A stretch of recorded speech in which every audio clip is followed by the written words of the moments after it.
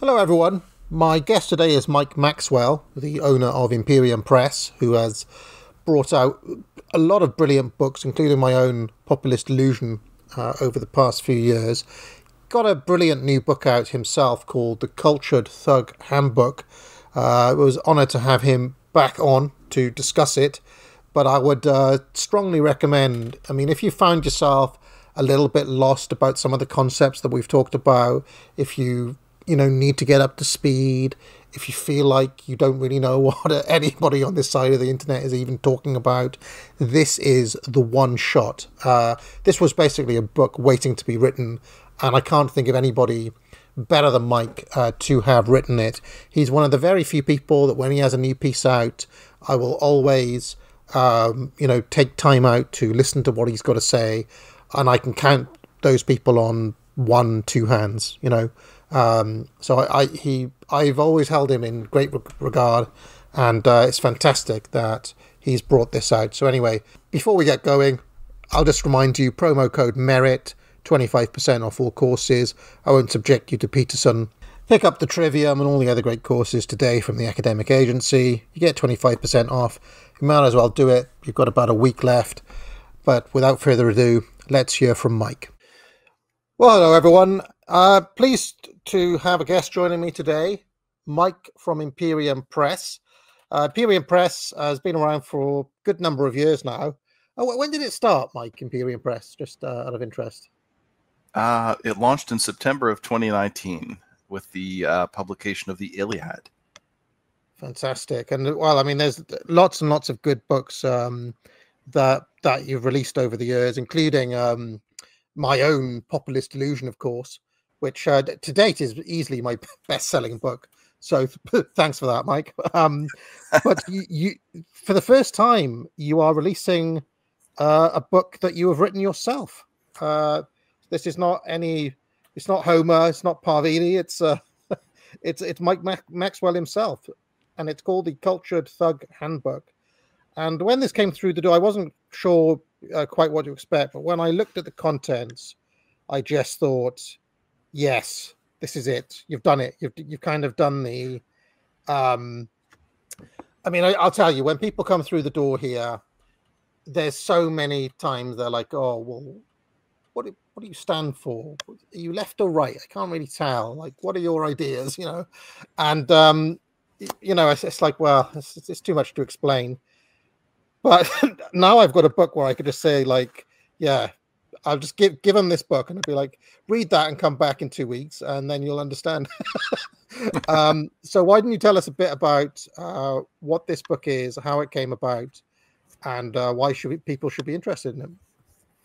Great. Well, uh, thanks for having me. And so the book is a an ex, basically it's an explainer of the radical right wing worldview um, as filtered through the concepts that we use. So the kind the um, the concepts and like words and you know uh, phrases and and whatnot that you'll find in the radical right uh, that have currency. You know things that are uh, somewhat of like inside baseball language. It's um, you know an important part of building a scene and in some ways uh, building a folkhood that we kind of have our own language and our own um, you know inside jokes and things like that. I mean none of the stuff in the book is are jokes but they're concepts that are very commonly used uh, and invoked in right-wing discourse.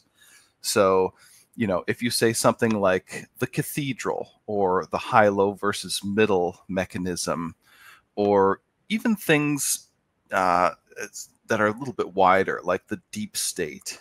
Um, if you're using these terms and talking to somebody who you know say has been on um, on your show or is just like in as part of our scene they'll pretty much understand what that means i mean there might be some things that they're not quite uh, you know don't quite understand um, but this is, book is basically an explainer for all that stuff, as many of the major ideas as I could think of, and in the end, I came up with 45 of them. Uh, and it, so it's an explainer book, first of all. And second of all, it's an explainer book that is couched in very straightforward, very plain language.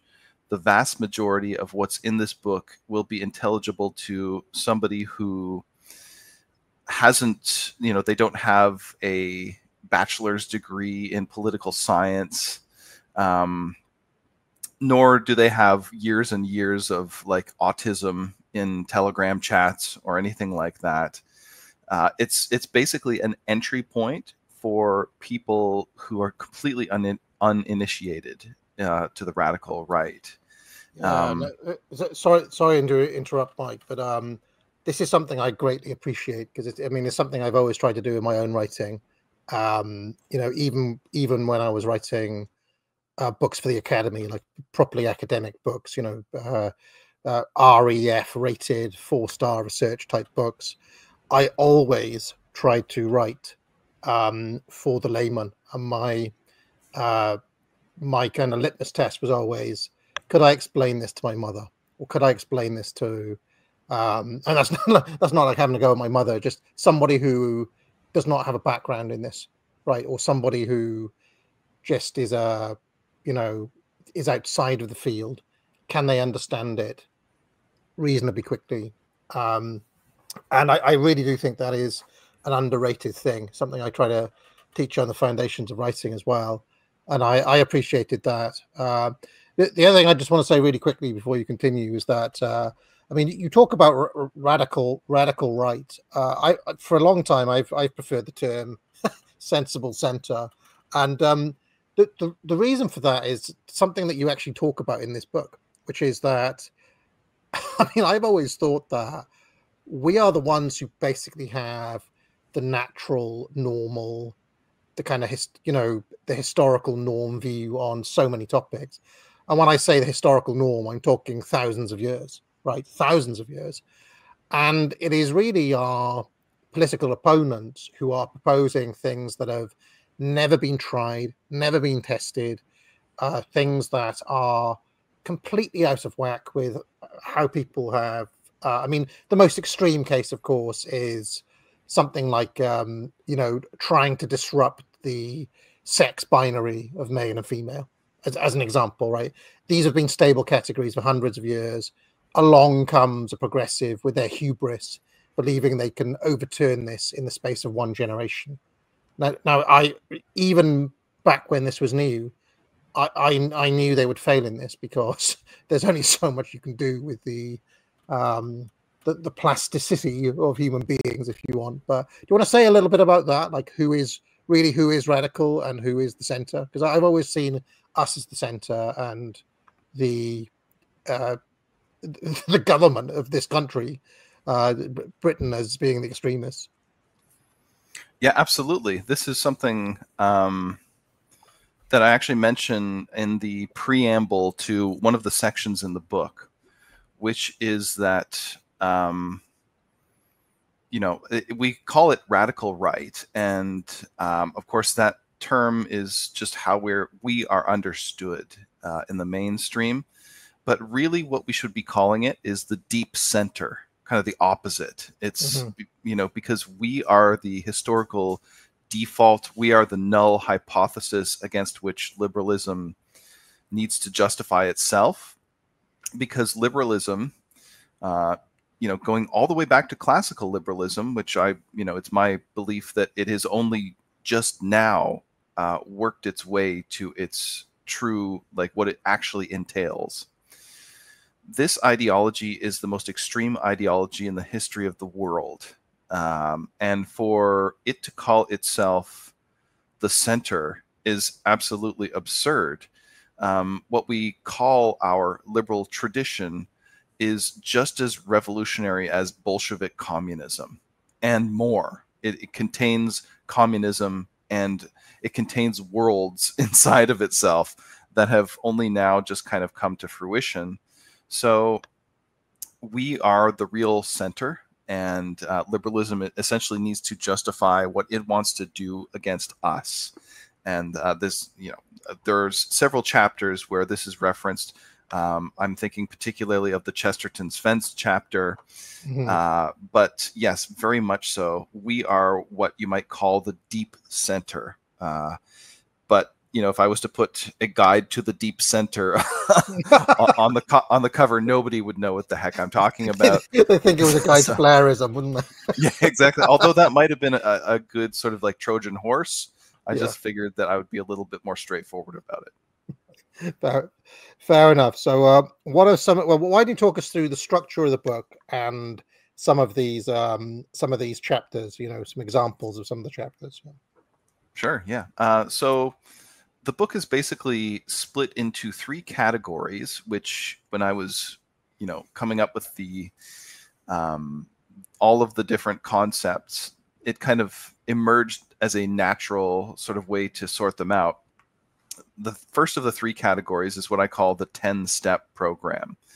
Now, this is an ordered list of 10 concepts that basically get you from the simple fact of noticing that although Donald Trump was on paper, you know, the highest power in the land in the US from 2016 to 2020, despite that, he wasn't actually able to govern. He didn't have any real power.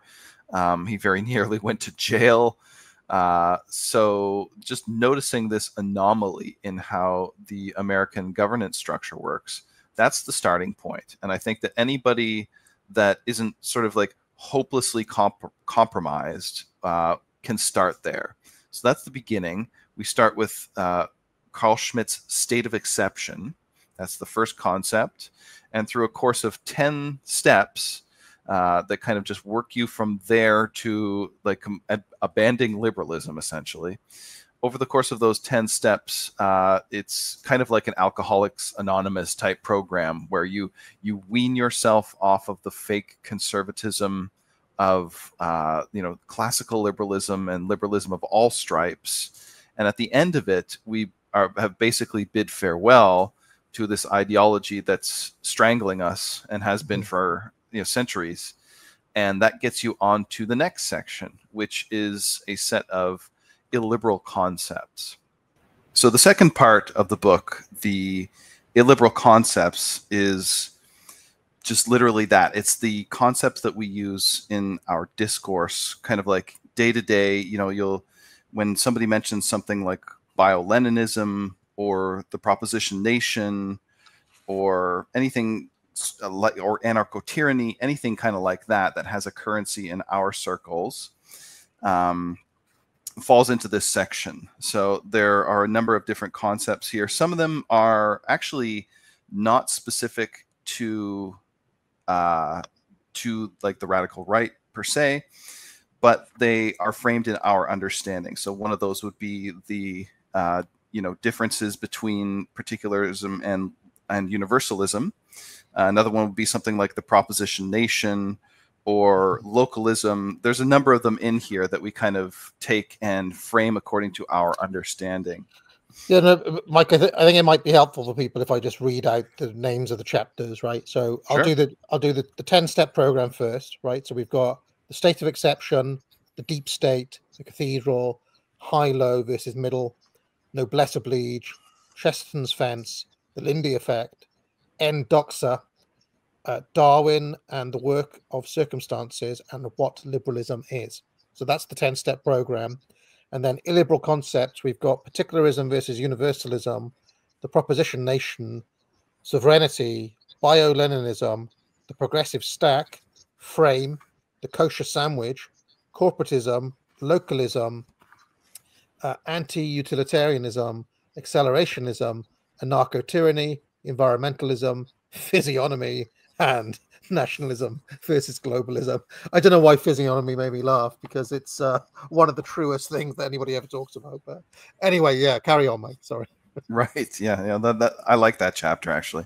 Um, so the next section after that are the big ideas, and this actually it's the third of three sections, but it's really about half the book. And what these are um, are a number of different concepts that, again, the the name is uh, used very often in our circles, uh, and or sometimes it's not, but it's a concept that's invoked nevertheless. And each one of them is sort of filtered through the use of the term or the interpretation of one of the greatest thinkers of all time.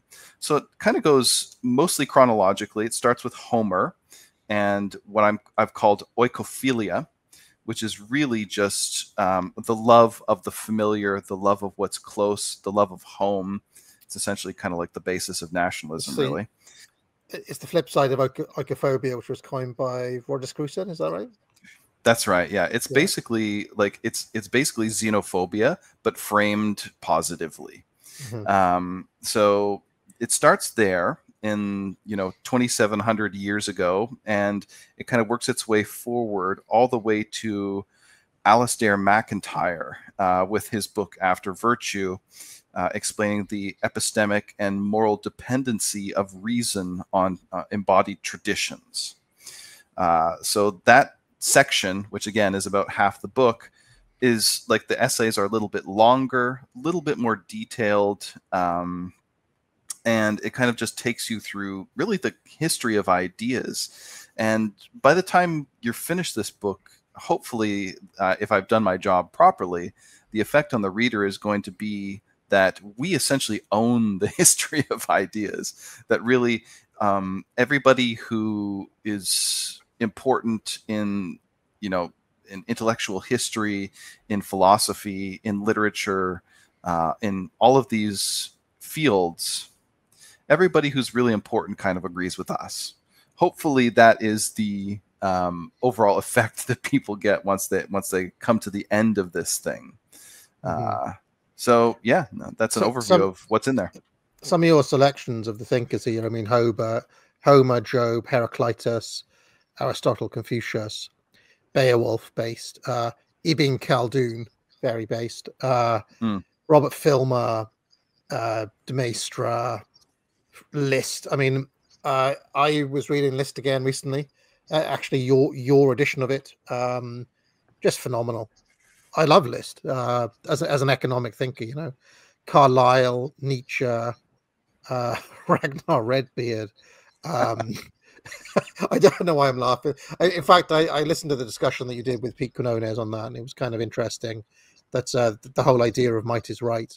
Um, Veblen, Spengler, Heidegger, Schmitt, Evola, and uh, and MacIntyre. That is um, not Aaron McIntyre, but the uh, Alasdair MacIntyre from right. After Virtue. Um, Mike, uh, just on the on the might is right point, um, you know that would may raise a few eyebrows, but I think I think one of the interesting things that you've always been uh, alert to is the fact that our current order, especially the post 1945 order, the the liberal order was not won in the market in the free marketplace of ideas. It was basically they just no. won a war, and therefore we are correct and everybody else is wrong. It wasn't like it wasn't like they ever, you know, defeated any of the arguments. It was just like I mean, they literally, you know, nuked two cities into submission in the Japanese case, and well, I mean, I don't need to go into what happened in Germany, but uh, you know, starved three million people into submission and then psyop them for for the next eighty years. So, I mean, it's not like it's not like they ever won any arguments. These people. yeah, exactly. Um, I mean, at the end of the day, uh, the you know, after all of the liberal arguments fall away, um, which they do fairly easily when put under any pressure, which is why we're completely censored. After all that falls away like dead leaves, the at the bottom of every justification for the current order is we won World War II. So um, the thing is, might is right. Now, this isn't. People have asked me about this a number of times, so it's obviously it's a chapter that does raise some eyebrows, and I should uh, preface this briefly by saying that I don't necessarily agree with every single idea in this book. There are some, like most of them I do, of course, but like some of them are not things that I would really stand behind or endorse. I think Might is Right is, uh, very ambiguous. It it's mm-hmm. it runs into a lot of danger if you try to make it a moral foundation, say. Um, but I, you know, I've tried to explain these as as to steel man each of these ideas as much as possible, whatever my own feelings might be. But that said, with might is right, um, it is quite hard to dismiss because, like I say, at the end of the day, any worldview uh, that is put under any real pressure, especially one that doesn't really have a a serious foundation to it, like liberalism, will kind of retreat to a might is right. They'll basically say, well, if we're so wrong, why did we win? Um, and you know what? That is a valid. Uh, that's a valid thing. That's like a valid a rule of thumb. Say, um, it's a question that really does require an answer. And I, I just find it very interesting that um, despite that, basically, pretty much nobody will stand behind this idea except for Nietzscheans. Um, that and possibly, possibly Israelis in this day and age. well, per- perhaps, uh, but pretty much, you know, everybody else uh, is, finds it to be abhorrent and a terrible basis for a worldview. But when you're kind of pushed to it, a lot of them will retreat to it. And you know what? Also, throughout the history of um, the world, basically, it has served as a an ideological foundation um, before modernity. And it seems like the difference with modernity is it just simply wants to hide the fact that it's based on power. So, uh, first of all, I wrote this chapter not because I find the idea interesting, though I do, but because it's a it's a concept that has currency. I wanted to limit myself to not just ideas that I think are great, but ideas that are actually you will see them in the discourse. So this is one that I felt that I had to include and I like the chapter because it's a little bit nuanced. It doesn't give you a definite yes or no take on this idea. There's a couple of them that are kind of like that, uh, but it, it, just sort of like leaves it as an open question, I suppose. So it's a it's a it's a chapter that kind of sticks out in some ways. There's a couple of them that are kind of like that. Yeah, I mean, I, I have got a lot more time for Might is Right than most people, um, because I'm a I'm a, as I've said many times a realist, right? So, I mean, let's just if you take any situation let's take the situation with Russia, Ukraine. Okay, the the people who want to take like very very moral positions on that are just overlooking the facts on the ground, and the facts on the ground are one of the one of the large the largest country in the world with one of the biggest armies in the world. You know, it's not going to tolerate certain things happening on its border. End of. You know, so you know, with the best will in the world, you know, there's certain realities that if you're Ukrainian, you have to take into consideration, right? Um, and this is an argument that comes up on our side of things, right? And it has done many, many times because there are people who argue about nationalism in the abstract, right? That every everybody has a right, you know, if, if somebody wants to declare themselves, you know, a uh, an ethnic group, uh, they've got a right then automatically to a homeland and uh, you know this is kind of a, a, nationalism in the abstract okay um, whereas uh, when i look at the history of the world it's a history of empires and it's and you know for large swathes of history there has been no you know small nationalism so you know i've said a number of times i'm not sure about the nationalism of smaller nations being a real thing this to me seems like a luxury a luxury belief afforded by the liberal order or something like this you know but uh, but anyway, I don't want to get too bogged down into that particular thing. But I'm just saying that might is right has everyday applications and it comes up all the time. Um, whether you kind of like it or not, it's just a fact, right? It's a it's a brute fact on the ground that there are certain powers in the world and there are things that they're not going to tolerate, and you just have to kind of come unless you're going to raise a bigger army. There's nothing you can do about it, right? Yeah, and I think that understanding some of the concepts that are in this book, specifically the chapters on sovereignty and uh, patriarchy, you know, which basically talks about Robert Filmer. Um, obviously, like patriarchy doesn't really enter into this specifically, but the idea of sovereignty uh, if, just an understanding, a robust understanding of what that term means, will really kind of dispel a lot of the confusions here. Because you know somebody recently posted on Telegram that uh, the U.S. has a law in the books whereby uh, if the Hague was to convict one of their uh, one of their officials of war crimes and was to like you know arrest them and then put them on trial, the, the U.S. actually has a law in the books that said says that it will destroy the Hague if that happens. yeah, it's it, it's just so nakedly obvious, you know what I mean? But it shouldn't be a surprise, though. I mean, it's no. only it, it only is like you know people are only shocked at that if they don't really understand what sovereignty is, right? Yeah, because you know you.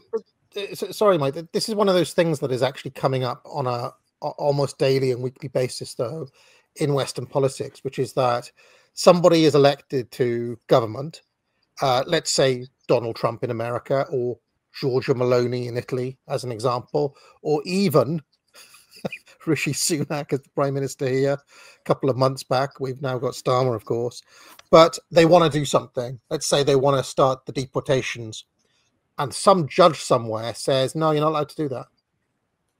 So a, ju- a judge intervenes and says, "Oh, oh, actually, that's against the law," and the the prime minister or the president then says, "Oh, okay, then you block me. All right." And uh, this is one of those bizarre scenarios. It's like one of the kind of fail safes the liberal order has put in. But all that's saying to me, in a in a, in a, in a you know viewing it through our lens and through these concepts, is well, the leader's not sovereign. That judge is sovereign. Exactly. The judge is deciding the exception. You know. Sorry, sorry to interrupt, but uh, yeah. Well, I mean, that, that's the thing is, I mean, this is part of why I start the whole book off with the idea of um, he who decides the exception is the sovereign, right? Because when you understand that, uh, which is basically all that is that that point that schmitt is making, is he's just explaining absolutism in a very very succinct way. Um, as far as I'm concerned, absolutism is the only serious political theory as far as like sovereignty is concerned. And I think that when you understand that concept, when you understand that sovereignty is indivisible and that is necessarily above the law, that it actually is the font of law, then everything sort of falls into play. Everything kind of makes sense on, in the basis of that, right? Like in, in terms of the example that I, I mentioned before with the Hague, I mean, the fact is that America is the only country or one of the only countries in the world uh, that is truly sovereign. There's probably America, certainly China, uh, Russia. You know, you might be able to add Iran in into that as well. Where basically what they're able to do is to say is to tell other states, no, you can't, um, you don't have jurisdiction over our citizens, right? Um, so when the Hague tries to you know arrest U.S. officials for conducting official U.S. business. It's kind of like imagine if I tried to take the government to court. You know, like yeah. There actually is like a, uh, a legal principle that states that you can't do that. Which you know, from a a sort of thinking about it for a minute perspective, should dispel that idea, right? because how can you like basically when you if you want to take the government to court you're kind of like trying to overrule the sovereign which basically means you're the sovereign which obviously you're not so but you know one of the interesting things is that this concept is very widely misunderstood even within our sphere. Certainly in within the mainstream like liberal society. I mean uh, it, it's probably understood it's certainly understood in academia um, you know, political science and things like that. But the mainstream understanding of you know who actually governs is just it's basically sort of like flat earth theory. It's it's on a uh-huh. level with that. It doesn't make any sense even for two seconds uh, and you know hopefully this book will not only explain because absolutism isn't is certainly not um, accepted by everybody in an hour thing and it is just kind of thought of as ridiculous by most people out even outside of the radical right. Uh, so hopefully this book will have go some way to kind of dispelling that. really, um, yeah, I mean, there's a number it, of things in there like that. That was what I was trying to. One of the things I was trying to do with populist delusion, Mike, as you know, which was basically to be like, listen, it doesn't matter if you call the system monarchy, liberal democracy, communism, or anything else. It's always the same. It's always executive power, decisionist, first and foremost, regardless of what you, regardless of what the system is called. Somebody decides the exception, and it does not brook a contradiction to itself. Right? I mean, that is all power, all power systems. Um, and uh, once you kind of, I mean, for me, this is a kind of uh, almost like a eureka type insight into mm-hmm. in, into everything really. Um, and uh, I mean, I can always tell the people who get that and the people who do not get that. Um, just just on the the role of the judge or the role of uh, who interprets, because this is something else Schmitt says, is you know who decides who interprets. Uh, if, if you go back to, to Machiavelli and the original, uh, you know, some of his breakdowns of the origin of what a king is and things like that, and even if you go back to P- Polybius and the, and the, and the Greeks, the, the, first king is also a judge, right? It, it actually the function of king starts with needing the person to dispense justice in the first place. So that so the two roles of judge and king are actually much more closely intertwined than first meets the eye. Um, and I mean, in the medieval era, they had uh, the king had a court, a traveling court, where if all of the other, if all of the other um, kind of legal systems that were up and running, this is in England now, medieval England, um, if they couldn't reach a resolution, well, they could try to get an audience at the king's court, right? The notion that you could go to the king's court and try to put the king on trial and ask the king to make a judgment on himself is ultimately what you're getting at here. Because that, I mean, it just couldn't happen. It was just a nonsense to ask the king to to to make a judgment upon his own upon his own conduct. It just didn't, couldn't happen, wouldn't happen, and in fact was considered a contradiction because, um, you know, he's God's representative on earth, and God cannot contradict himself. So, anyway, I, too much of a uh, tangent, I suppose. But uh, any other things? Uh, we, have got about five minutes left here, Mike. Any other chapters you want to kind of draw people's attention to, or what are you hoping that people will get out of this book ultimately? Yeah, I mean, there. I mean, there's 45 of them, so it's a lot to go through. I would say I, I've actually so I've I've got the EPUB is now available of the book, the ebook and this kind of allows me to look and see like which chapters are referenced more often and everything like that it's actually when i when i look at the ebook i realize that this is really kind of a hypertext a lot of it is referencing other parts of the book it, it's mm-hmm.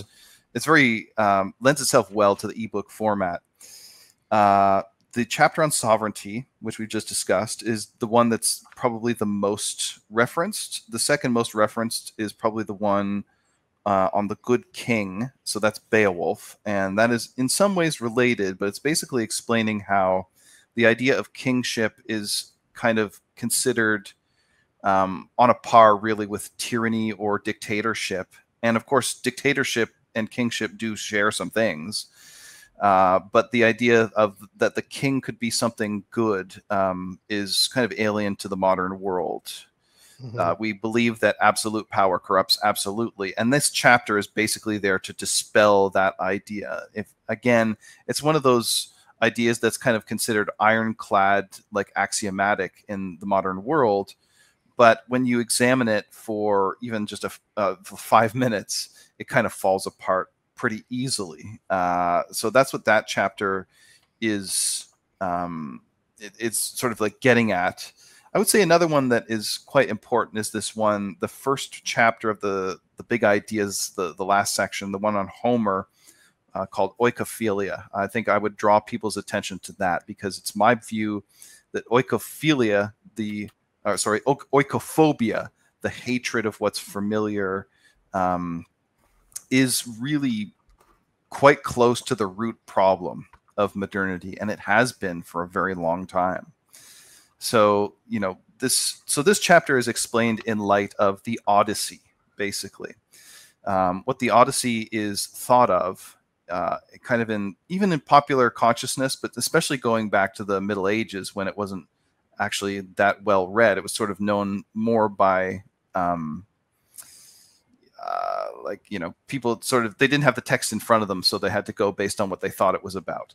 Um, it the odyssey is kind of thought of this um, it's thought of as this story about a guy who goes on a bunch of adventures but really the main story of the odyssey is the homecoming of odysseus. And what the what i think is the most interesting part is what happens when he gets back when he you know because he's mm-hmm. been away at the trojan war for 10 years then he has like 10 more years worth of adventures trying to get back and then he finally does get back and what happens after that is for me the the really um, uh, important uh, part of that story. But it's also kind of thought of as like oh well you know he's off having adventures and having fun and everything but really he, all he wants to do he just wants to get back to his home country. And i think that this is a good uh, metaphor for kind of where we're at in the West today, right? Where the the king has been absent for a very long time. We have all of these suitors, all of these, you know, people who are here that probably shouldn't be here, who are, you know, they're they're eating through our store, they're abusing, you know, our people, and the king is absent. And I actually find reading the Odyssey quite exhilarating because of course, anybody who knows what happens when Odysseus comes back knows that um, it, it's kind of a model for. Let's just say it's a bit of a model for uh, for us today. But uh, yeah, the idea of oikophilia, the love of the familiar, the love of what's close and native to us and natural to us, and what's been with us forever, is kind of it's it's really the psychological and even spiritual basis of nationalism, um, which kind of sets itself at odds with some other ideas that have currency in our circles. I'm thinking specifically of something like Faustianism. The idea of striving and going beyond is completely the opposite. So you kind of have these poles in the Western soul, shall we say, the West, the folk soul of the West, if you can use that term. One of them would be Faust, uh, Spengler's idea of the man who strives beyond boundaries into illimitable space. And then you have this other side, which is sometimes not talked about all that much, which is Odysseus. And he's the man who just who wants to return to his hearth, who wants to get back to what's familiar.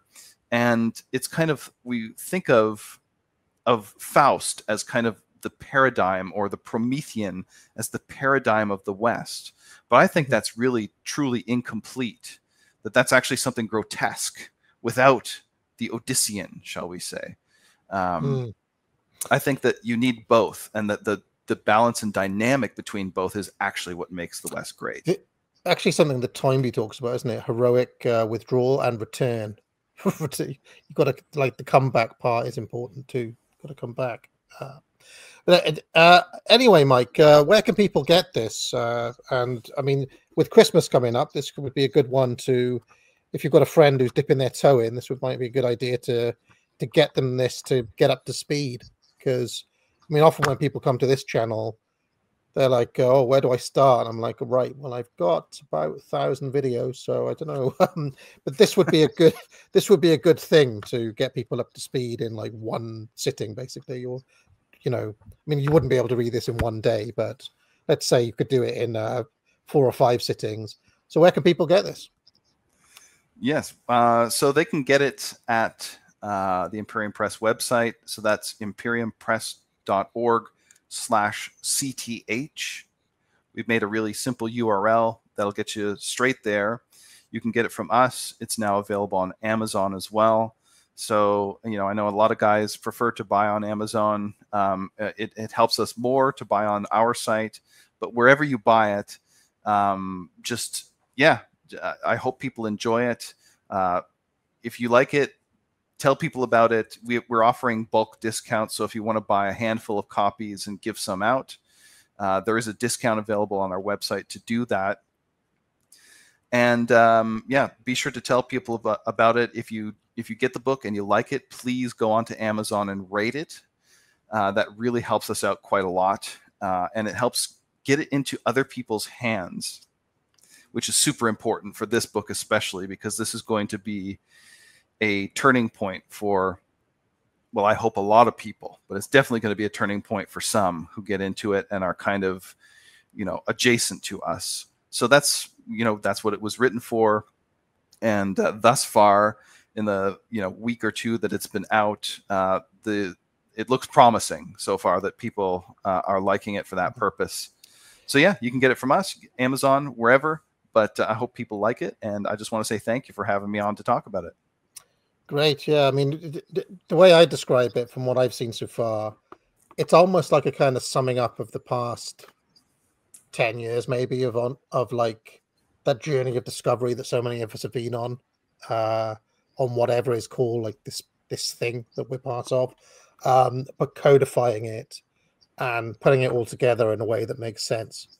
So it was uh, it actually a great service that you've done for the entire community. So I do hope people uh, pick this up and support uh, Mike. Thanks, thanks a lot, Mike. Hope it does well. Thank you. If you like this video, be sure to like and subscribe. You can join the channel for thousands of hours of past shows in the archive and hundreds of videos. If you have any questions, you can leave a super chat or a super thanks, and I'll be sure to pick it up during my weekly office hours, which run every Tuesday afternoon. I also provide courses at the academic agency, which I encourage people to buy. Thousands of students now have taken the Trivium to improve their skills in writing, logic, and rhetoric. Just three of many courses available. Buy it now. But most importantly of all, friends, get out.